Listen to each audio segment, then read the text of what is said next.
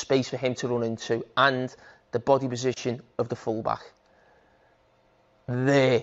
So he runs inside really close to him because he square at and watch him. He just tries to play offside there. He just stops.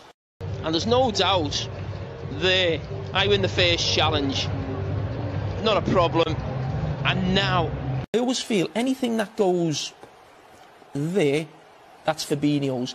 Any you could argue it's outside the box. There, there, there. See, he's trying to get off him.